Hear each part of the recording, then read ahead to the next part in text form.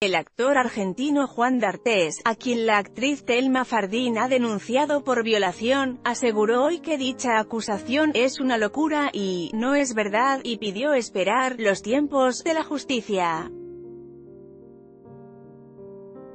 No es verdad lo que se dijo, por Dios. Es una locura, nunca sucedió eso.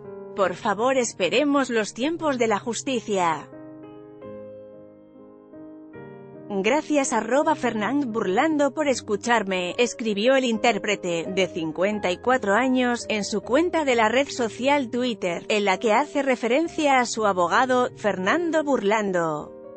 Este martes, Fardín, rodeada de multitud de actrices argentinas, reveló en una conferencia de prensa que presentó una denuncia en Nicaragua contra D'Artés, al que acusa de haberla violado en 2009, cuando ella tenía 16 años y estaban en una gira en ese país con la novela Patito Feo. Una noche comenzó a besarme el cuello, y yo le dije que no.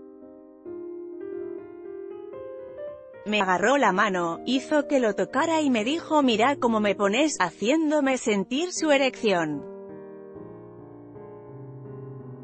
Yo seguía diciendo que no, afirmó Fardín en un video divulgado de forma previa al encuentro de prensa con el colectivo Actrices Argentinas, que aglutina a más de 400 profesionales del espectáculo.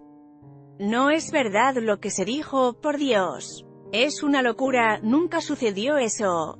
Por favor esperemos los tiempos de la justicia.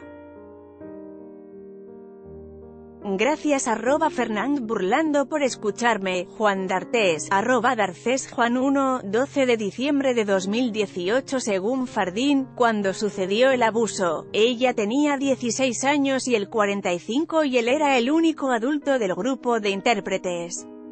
El hecho ha conmocionado a Argentina entera, y los medios de comunicación locales están ahondando en un asunto que según las actrices no ha hecho sino empezar y puede convertirse en el meto argentino, en alusión al escándalo iniciado en en 2017, cuando el productor Harvey Weinstein fue acusado de haber abusado de multitud de mujeres de la industria del cine.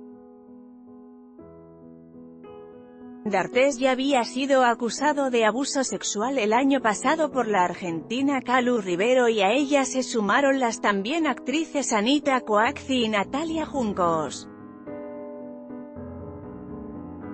Sin embargo, hasta ahora la justicia no ha avanzado contra el artista. En esta nota,